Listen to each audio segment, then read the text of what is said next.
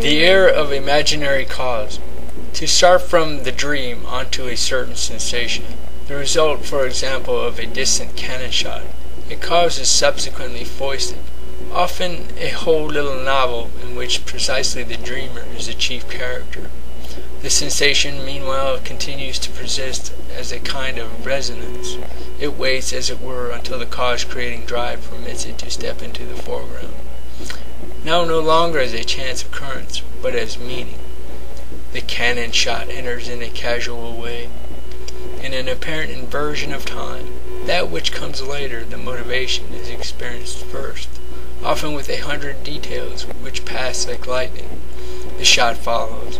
What has happened? The ideas endangered by a certain condition have been misunderstood as the cause of that condition.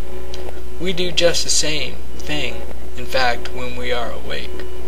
Most of our general feelings, every sort of restraint, pressure, tension, explosion in the play and counterplay of our organs, likewise and especially the condition of the nervus sympathicus, excite our cause-creating drive.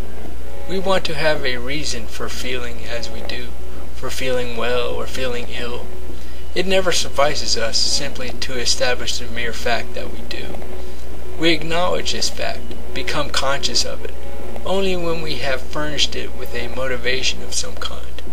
The memory which in such a case becomes active without our being aware of calls up earlier states of a similar kind and the casual interpretations which have grown out of them, not their casualties.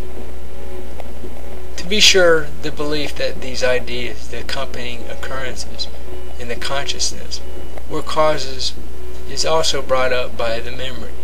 Thus there arises an habituation to a certain casual interpretation which in truth obstructs and even prohibits the investigation of the cause.